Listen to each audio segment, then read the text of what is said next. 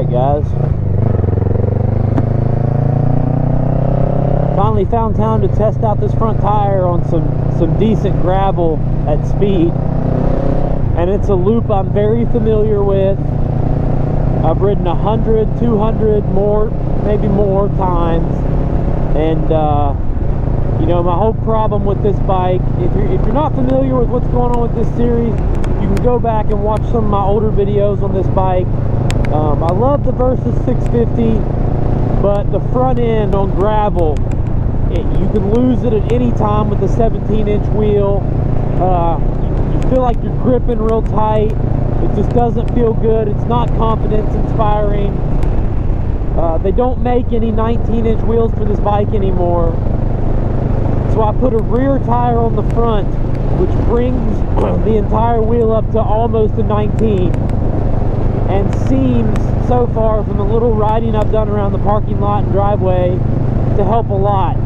So this is my first real test ride. I'm going to take it out on gravel that I'm familiar in. But uh, you can go back and if you search like uh, MX Guru Crash Versys, you can actually see me crash this Versys in a gravel parking lot going like I could have been going more than six or eight miles an hour and the front end just I didn't do anything. I didn't I didn't pull in the clutch. I didn't hit the back brake. I didn't hit the gas. And the front end just washes out. And uh, I know this isn't a, a, hard enduro bike. I know it's not a hardcore adventure bike, but I still feel like a little stability on the front end isn't too much to ask for. Hopefully that front tire does that for me. We're going to see in a few minutes. Um, it also improved the riding position, brought the bars up a little higher, changed the rake to, to change the angle of everything to a little closer to what I like. Um, helped with the with the problem with the seat on these things, where you want to slide down to the tank. I don't know if that helped enough. I 3D printed a seat riser, and uh, I'm probably still going to install that and see how it feels with this and the seat riser. But you still you still kind of want to slide forward into the tank. So we'll see. Just a few minutes up here, we'll be hitting some gravel. The Versys is just a great back road bike though. This uh, parallel twin 650 has all the power you need.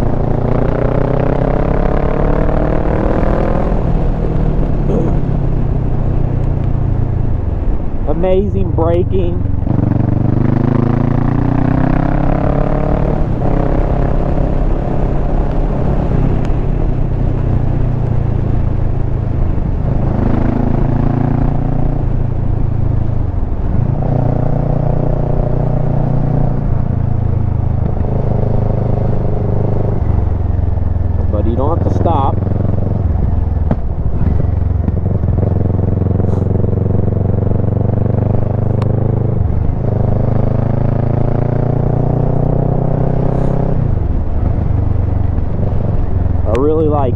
Everything about this bike in stock form besides the front end. Obviously you have to put knobbies on it, but and I've already, you know, spent time getting it set up. I've got the box I want on the back. Uh, BlueSkySea sent me over this sweet dash cam. I've got my power hooked up got good tires. I'm ready to kill some back roads.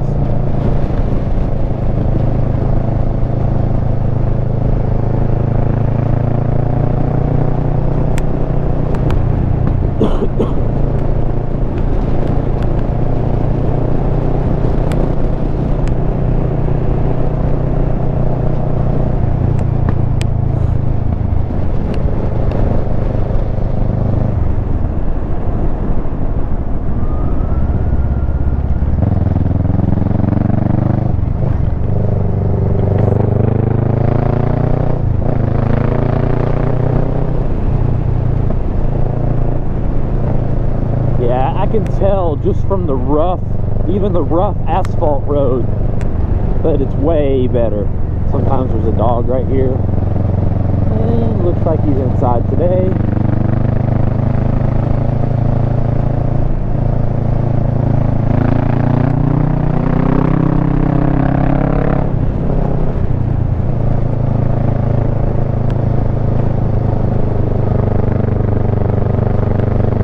This is always sketchy.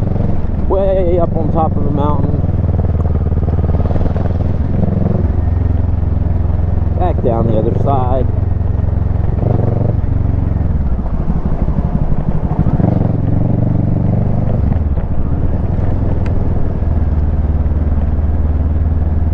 Everybody that doesn't know, guys, go back and watch my last Versys video about what I did, but it's a Shinko 805. I think it's a 130 80 17 I've got installed on the front of this thing. I wasn't sure which direction I should flip it, but just just kept it running in the uh, direction it's supposed to, and uh, maybe I should have ran it directionally backwards. Not sure. Maybe somebody can chime in. Now we're on gravel. One time, uh, me and Krista were trying to dodge potholes and on the KLR doubling and went off the road right here. It's pretty cool. And being a KLR 650, we just hit the brakes and popped back on the road.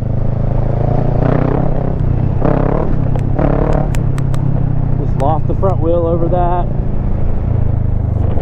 Doing maybe a little logging out here. Oh yeah, see I can, I'm not really going to all the, work to drift the front wheel, but it's like I can kind of lean back and let the front wheel kind of just travel and, and drift a little bit over the gravel where I could never do that before.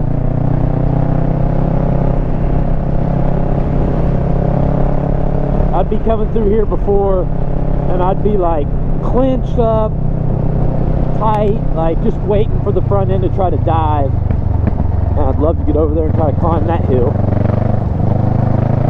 Especially in this relatively fresh, loose gravel.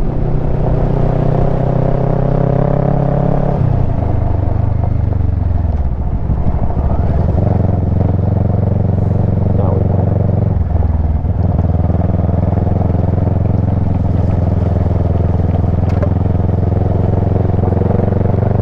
we- Weird to see a county sheriff way out here. I don't think I've ever seen one on this road.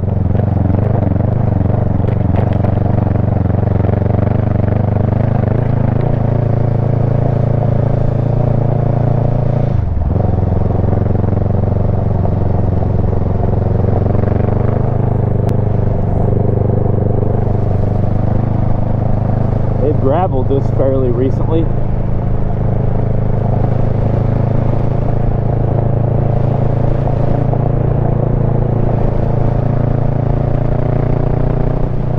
Beautiful country out here. Oh yeah. I'm able to travel at the same speed I was, but far more relaxed.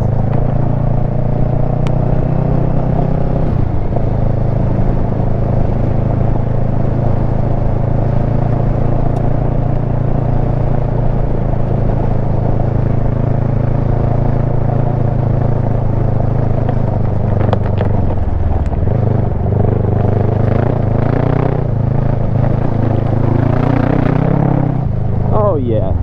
Slide out the rear wheel a little bit.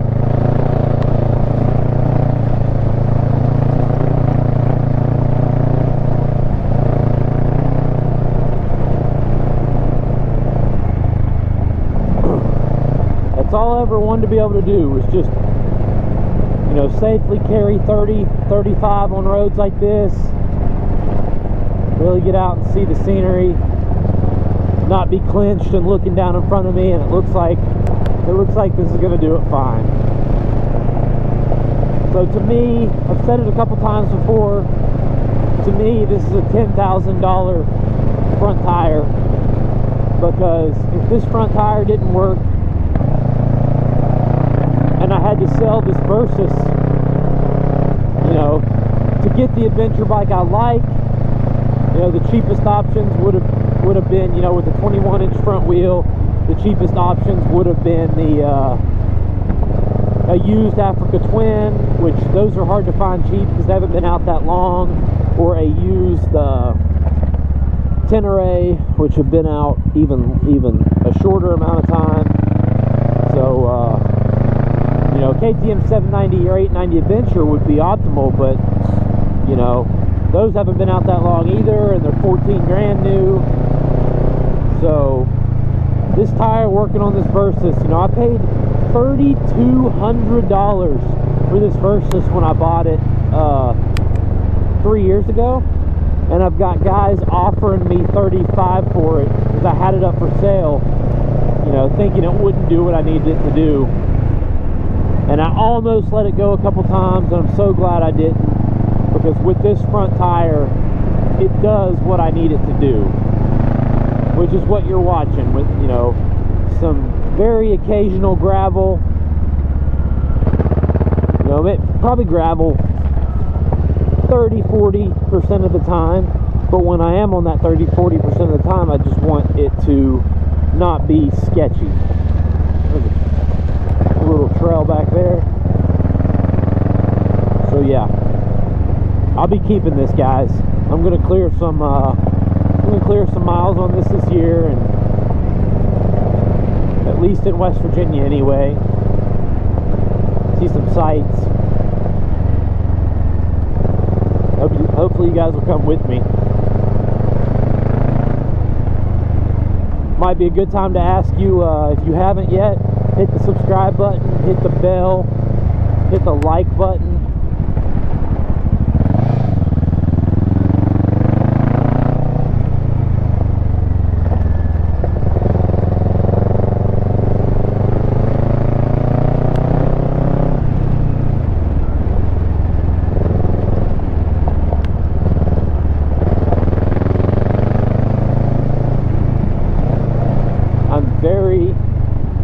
Pleased, very satisfied with this motorcycle now.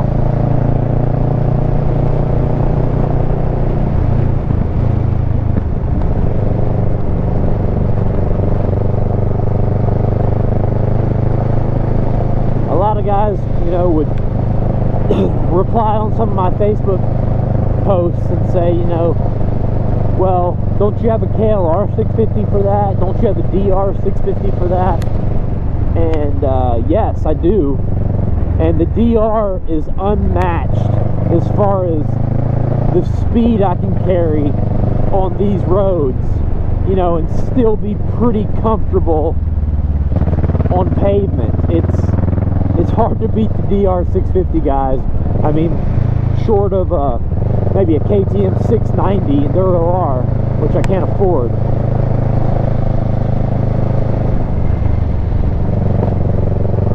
But uh, yeah, the DR, I can travel roads like this, you know, at 40, 45, you know, faster than you should really be going on these roads because you come around some of these corners and you can quickly find yourself up on another vehicle. But uh, but the DR can be a little more exhausting, you know, if, if you're going on a, a day or a weekend ride and you've got a little bit of highway sections you need to clear or you really want to take some luggage it can it can be a little more exhausting um, and and sometimes this is really nice for that. You know if you got to hop on the highway on the DR and run 65 you know sometimes you have to do that for 15 or 20 minutes or whatever. It's work. Uh, on this bike it's not. It's still relaxing. You can still cover stuff like this. Now the DR I can do stuff like this but then still jump off and hit ATV trails.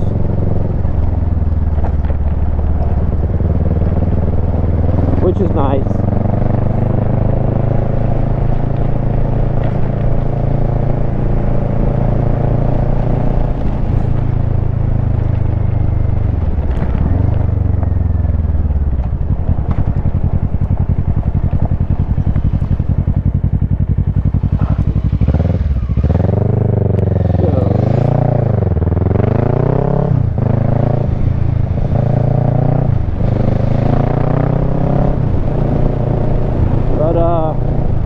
depends on what bikes your buddies are on, man. Like, I've got a buddy that I, you know, we we ride together pretty often. Usually when I'm dual sport and adventure riding, you know, that's the buddy I'm with, and uh, you know, he's got a bigger adventure bike like this, and you know, smaller smaller dual sports like XR650Ls and DRs, and it's nice to kind of be on the same bike your buddy is. You guys can kind of do the same stuff at the same speeds. It wouldn't be a real blast to take this and ride with somebody that's on a WR 450F or something like that. Look at that view, guys. I'm gonna pull over here for a second, just let that truck go.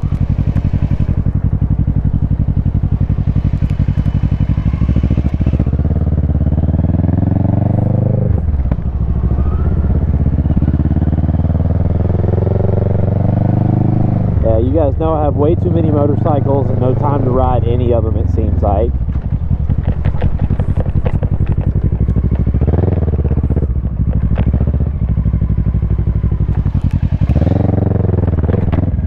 Yeah, I mean, that's all I want this bike to do is just stuff like I just did.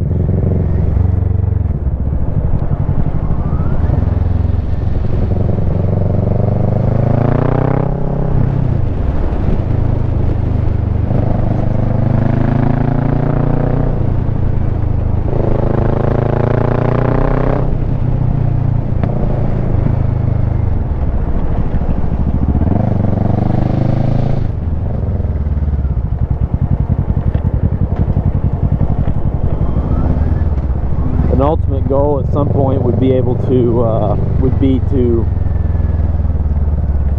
you know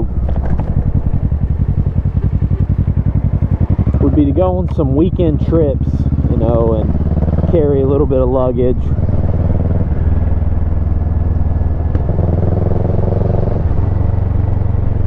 And uh, another another thought that came through my head was that uh, maybe one day we ever got more time on our hands that uh, and I could do some adventure motorcycling and see some stuff. And uh, I might upgrade you know to a to, an 890 adventure or something along those lines. There's a dog. I always got one of them and uh, maybe this would be Krista's. You know, she's got the 250L but once again you know this is just that 250L will barely do 60, 60, 65 miles an hour at all with the gearing that's on it. But uh, maybe this will become Krista's bike. And I didn't feel safe about that with the other front tire. I do feel safe about that now. She can handle this just fine. and then we could really, really clear some miles. But that's that's in the future.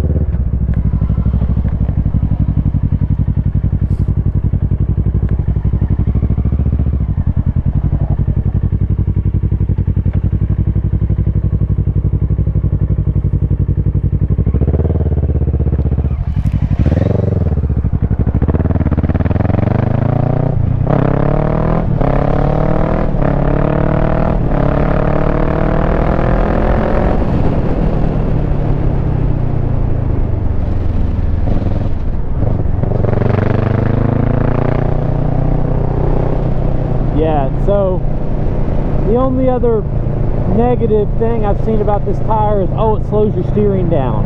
Um, yeah, it slowed my steering down enough that I noticed it the first ride, especially at kind of lower speeds. But after the second ride, I can't even notice it anymore, guys. And it, all I can say is, if you want that street bike track steering, okay, yeah, this is going to take away from that a little bit. If you want more of a dirt bike steering, adventure bike steering, then that's what it's going to give you. So it's it's not a negative in my eyes.